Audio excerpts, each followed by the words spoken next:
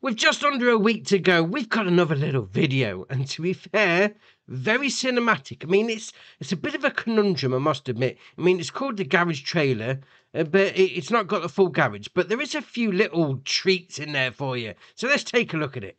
Rated E for everyone.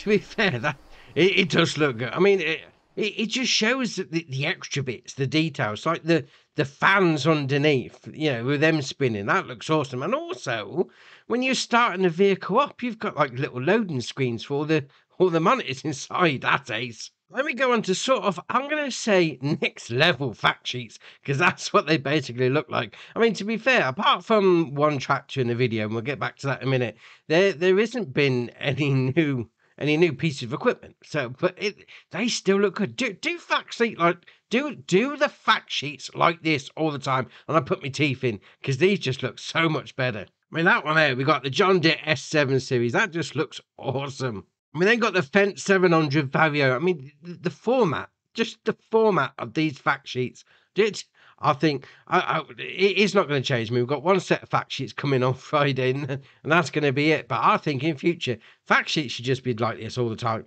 It carries on with this one, the International Transtar 2 Eagle. Now, again, we've already seen these before on normal fact sheets, but yeah, we're seeing them again. Then we've got the New Holland CR11. Obviously, this is the base game one, but if you pre-ordered on PC anyway, the uh, was it the collector's edition? You get the gold version of this, which is all right. We've got the Case IH Steiger 715 quad track. That just looks awesome. We've got a Voucher S series. Now, I remember when these first came to the game, was it 19 or 22? When they first brought Voucher in as official ones, but it's gold, was it, or bronze, whatever. Well, why not? Why would you not go for that colour? And we got the Claas Xerion 12. Now, obviously, that's going to be a fan favourite. Our big track tractor, up to 653 horsepower. We've got the Massey Ferguson MF9S. Again, yeah, Massey Ferguson. It, it, a fan favourite. Well, to be fair, all of these look great, so you're not going to be short on choice. Here's the only new piece of, well, it, anything, to be fair, that we haven't seen so far before. The Steyr 6220 Absolut. Obviously, it's going to be one for the Steyr fans. It looks ace. It does look good. And to be fair, just in general, you know, whilst the format looks so much better on those sort of mini fact sheets, just in general, the little things, it's like there's a bit there where, where you're seeing like the hydraulic bar going in and out of something being tow behind. and you know like the, the flappy flappy flaps whatever they're called on the exhaust on the on the, the what is it the international truck it just looks all the, the little details is always what makes things better. And this is just looking absolutely brilliant now, obviously, you still can pre-order. I mean, you can pre-order up to the, the, the, day before the game comes out, so up to the 11th. And if you're on PC and fancy picking yourself up a digital copy, there's a link down below. Click on that, and it helps the channel out at no extra cost to yourself. And just a reminder, you can get it on PC, Mac, Xbox Series X and S, and the PS5. So if you're on old school gen, next old school gen, next gen, whatever you want to call it, Xbox One or PS4, you are going to need a bit of an upgrade.